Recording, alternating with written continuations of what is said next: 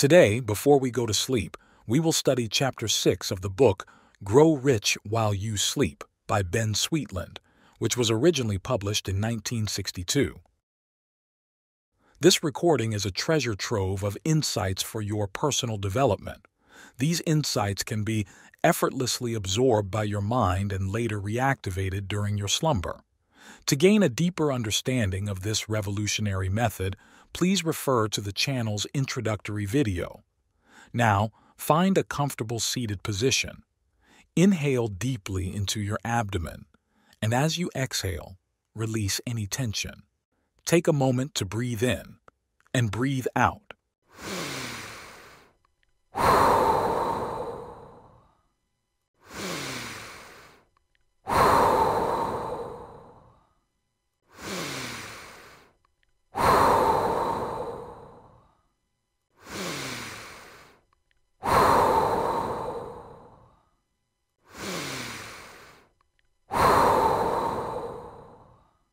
Now pay close attention and listen carefully with total concentration. Grow Rich While You Sleep, Chapter 6 You Are What You Think You Are. As much as I have used this expression in my lectures and writings, I wonder just how many people really understand what it means. After one of my lectures on this subject, a woman approached me with an accusation. Do you think I am poor because I want to be? Do you think I am unhappy because I want to be? She demanded sternly. Naturally, no one wants to be poor or unhappy, but the fact still remains that we are what we think we are. It is so important that you fully comprehend the significance of this statement that an entire chapter will be devoted to it. If you think as you read, you'll see a different you when you look into your mirror. I'm not a bit musical. You'll hear from the one who has not taken up music. I'm not at all handy with tools, the man who has done nothing in the field of crafts will say. I'm not artistic. I'm not good at writing. Are statements often heard? Hmm. Then there are those who will attempt to describe their emotions. I'm very easygoing, one will say, while another will declare, no one can put anything over on me. You are what you think you are. Our bodies do not reflect talent or the lack of it. If a man is not musical, it is not because there is some physical characteristic which makes him musical or otherwise. If one is awkward with tools, the body has nothing to do with it. What we are is a reflection of the mental image we have been holding of ourselves. Before any of you come forward with an exception, let me say that in talking about various talents and traits of character, I am referring to the normal individual. Naturally, a one-legged man could not win a foot race, no matter what kind of mental pictures he might hold. A person with deformed hands could not excel as a pianist. A sightless person could not win fame as an artist. What kind of mental picture does the successful business executive hold of himself? Does he see himself as a poor businessman? Not by a jug full. He has reached the heights in his field because he saw himself as a success. When I had a house designed, I explained to the architect the type of structure I wanted. He reflected a moment, then said, I think I know just what you want. Did that architect have faith in his ability? Or did he see himself as a poor architect? This question is actually silly because the answer is so obvious. Here is some extremely good news. If there is something you have always wanted to do but felt you couldn't, all you have to do is to gain an awareness that you can do it and you'll have no difficulty in doing it. I tried an experiment in my own household to prove the truth of this assertion. My precious wife, the girl to whom this book is dedicated, had always maintained that she was not a bit artistic. She had never tried to draw or paint a picture because she thought she couldn't do so. I started on a subtle campaign to establish in her mind an awareness that she could easily become an artist. In the selection of wearing apparel, I would compliment her on her taste in color, how well all her garments harmonized with each other, then drop a gentle hint that she would make a good artist. When taking pictures, she would be complimented on how well she placed her subjects to get the best balance. This, of course, all added to the thought that she possessed artistic ability. At Christmas, my gift to her was a complete outfit for painting and drawing. There were sets of oil colors, crayons for pastel work, pencils of all degrees of hardness. The outfit included canvases, sketching pads, easel, etc. From this complete set of materials, she could choose the medium in which she would like to work. The first attempt was a 14 x 20 inch oil painting of the famous wind-blown cypress tree at Monterey, California. Without any training whatsoever, she did exceedingly well with this first canvas. Throughout our home, there are many evidences of the artistic skill developed after she became aware that she had artistic ability. The head of a large advertising agency tells how he became identified with advertising. In his late teens, he had felt he would like to be an engineer. In fact, in school, he had been preparing himself for that field. This man had a phonograph and a quantity of records he wanted to sell. He selected the names of a few friends who might be interested, and he wrote letters offering his musical outfit. One man, receiving the letter, bought the machine and records, and in his reply complimented the seller on the fine letter he wrote, saying that he should go into the advertising business because he had the faculty of presenting an offer in such a convincing manner. As a pebble dropped in a pool causes the ripples to go to the furthermost edge, this thought regarding an advertising career, dropped in the mind of this young man, kept growing and growing until he could not see himself as anything else but an advertising man. In other words, as soon as he began thinking of himself as an advertising man, he became one. At a club meeting, a member was unexpectedly called upon to give a talk, telling about the trip he had recently taken. This man had never done any public speaking, and was quite ill at ease in giving his talk. After the meeting was over, one of the members told the speaker that he should take up public speaking because he organized his talk in such logical sequence. Making speeches was the last thing that had ever entered this man's mind, that is, until this suggestion was made to him. He began thinking of himself as a good speaker, and now he is constantly being called upon to give talks. Why are you as you are? Most people have so thoroughly accepted themselves as they are, they give little or no thought as to how they got that way. In a large majority of cases, we are as we are owing to childhood influences. Most of the fears, phobias, inhibitions, and complexes we carry through life were established in our minds when we were children. Let us consider timidity, for example. Very few people ever become timid as adults. It is the suggestions regarding timidity which are given to us while very young which we enlarge upon and carry through life. A mother might wish to show off little Mary before guests. She may ask Mary to recite or to sing. For some reason, Mary hesitates. Then her mother, without realizing the damage she is doing, will comment on how timid Mary is. When alone, she is a little chatterbox, but when company comes, she shuts up like a clam, the mother will explain.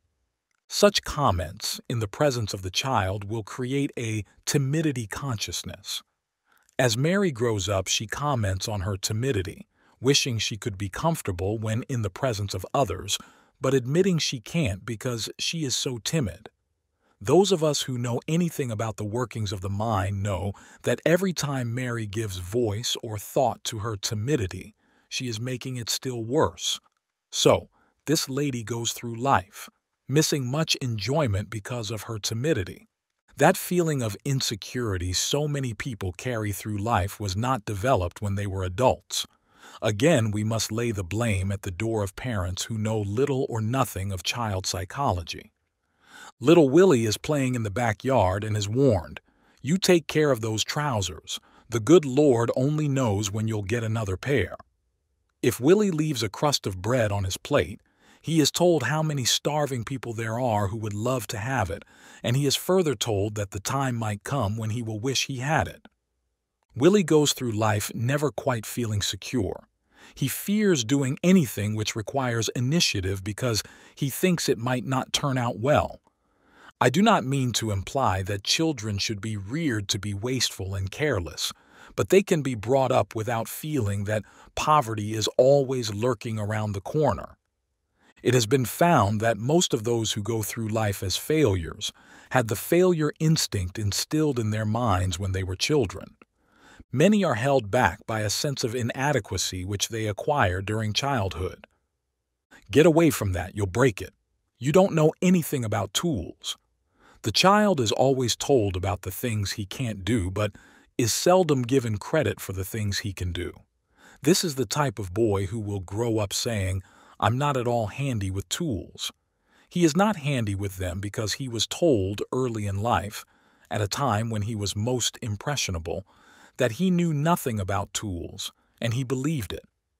Illustration after illustration could be given showing us why we are as we are.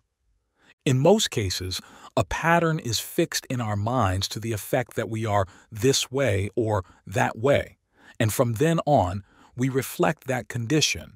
You are what you think you are. If your parents were wise enough to implant in your mind that you had the makings of a successful businessman, you would continue to see yourself as such, and in later years you would reproduce in your affairs the picture you had maintained of yourself. Have I made myself clear? Do you now understand what is meant by the statement? You are what you think you are. Do you now know that no matter what you have been up to now, you can be anything you want to be? Your important changeover. How long does it take to change yourself from what you are to what you'd like to be? That is a good question, and the answer will be interesting and even inspiring. Your transformation will not be instantaneous. After you gain an awareness that you can do the thing you have wanted to do, then you will begin developing the technique, which will not take long. If, for example, you yearned to be a writer, but felt you were not cut out to be one, you might make an attempt at writing, but the result of your effort would not be good. Every sentence you wrote would reflect your lack of confidence in yourself. But if you should build an awareness that you are a good writer, you would notice improvement in every page of material you would complete. Ideas would flow to you. You would become expression conscious and find it easier and easier to locate just the right words to express your thoughts interestingly. The dictionary, encyclopedia, and other reference books would become friends of yours. In a reasonably short time, there would be acceptance checks coming to you from publishers eager to buy your works. Let us assume you have always envied those in business for themselves. You never tried to get into a business of your own because you were afraid, afraid you lacked the ability to run a business and that you might fail. But suppose that you had re-educated your creative mind so that you now saw yourself as a man who could build a successful business. What would happen? After deciding on the type of business you would enjoy, you would take the necessary steps to establish such a business. And the success you would attain depends entirely upon the clarity of the mental pictures you have of yourself as businessman. The stronger the impression, the greater will be the success. Here is a statement I cannot overemphasize. Make sure you are not merely wishing for the change being considered. As you have read in so many of my books, wishing is negative. When you wish for something, it is an indication that you do not expect to get it.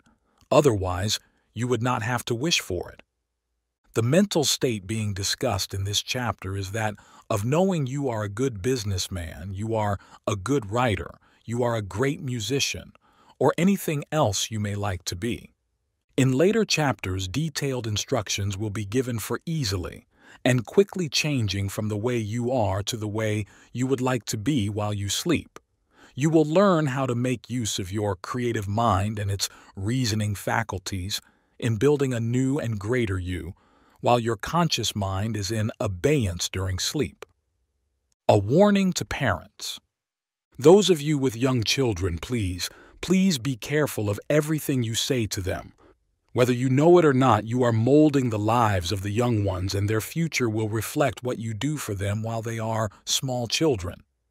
You'll spend your life in prison or end up in the gas chamber, a mother was heard to say to her son who had done some wrong. Would it be a wonder if such a boy became a delinquent? He was given a reputation to live up to, and the chances are strong that he will do so. When children are very young, they accept every word of their fathers and mothers as fact.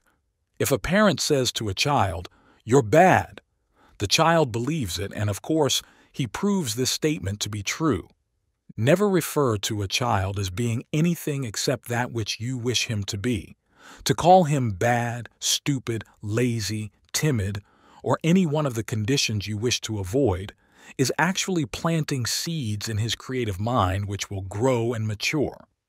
I can't call my child good when he has been bad, indignantly exclaimed an irate mother.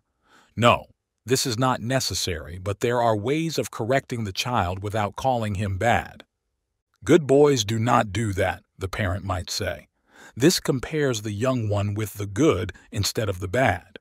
With that fine mind of yours, you can easily develop into a respected leader and not have to work hard all your life. An intelligent mother counseled her son who was inclined to shirk his studies. When a woman has worked hard all day, it is exasperating to have the children misbehave, and it requires self control to keep from blowing her top. But bear in mind, the effort required to keep them on the right track is nothing to the heartaches which can come should the children become delinquent. Having children is God's greatest blessing, and it is also our greatest responsibility. When a child comes into being, it is like a piece of clay placed in our hands to mold as we wish. What that child will be in 20 years depends entirely on what we put into it while it is a child. Some parents will blame the neighborhood for the bad habits their children acquire. Often the fault lies elsewhere. A family of my acquaintance moved into a questionable neighborhood. This family had a son of 12 a boy who had been reared to know good from bad and who was good because he wanted to be good. What effect did the neighborhood have on this boy? It would be better to ask, what effect did this boy have on the neighborhood? He organized a neighborhood club and encouraged the boys to become interested in constructive projects. Remember, it is easier to be a good influence than a bad one. There is every reason in the world for being good, while there are none for being bad. Knowing what to say to the children is only part of the parent's obligation to them. They must guard what they say in the presence of their children. A father complained because his children had no respect for him. It was learned that whenever his wife became angry with him, she would call him worthless, a lazy bum, etc. Wouldn't it seem natural for the children to lose respect? And of course, if the husband called his wife names, it would have the same effect upon the children. Vile language, excessive drinking, fighting, and quarreling should all be kept from the children, else they will be reflected in your offspring's behavior.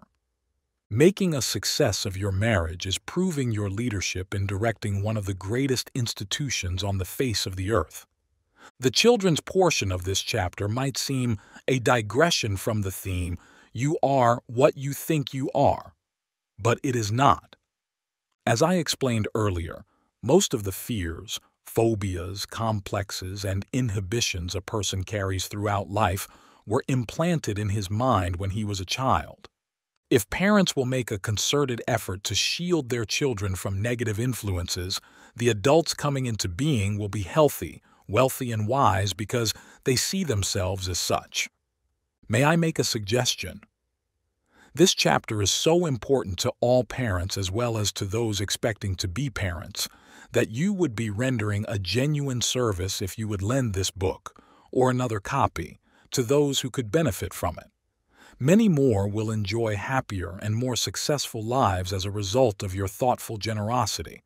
You are what you think you are. Now that you understand the meaning of this statement, what do you think of yourself? Do you see yourself as a great leader, a successful businessman, a capable and efficient employee, a good spouse and parent? Do you see yourself as an author, a painter, a popular lecturer?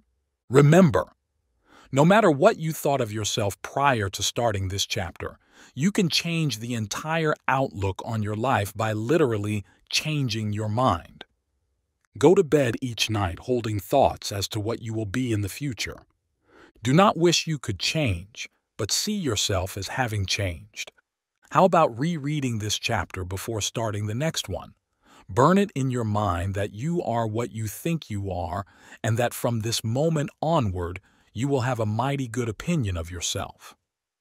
End of chapter 6. Take a moment to breathe in and breathe out.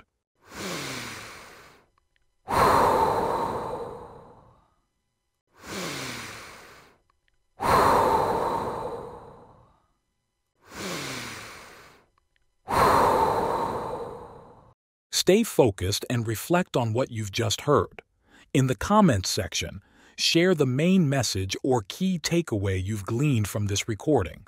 This simple task will aid in your reflection and internalization of the information. Remember, repetition is the key. By playing this recording every night before sleep, you're instructing your sleeping mind on what to consolidate. Once you've completed this, head to bed immediately and let your subconscious mind work its magic. Don't forget to subscribe to the channel and hit the notification bell to stay updated with our latest content. Good night.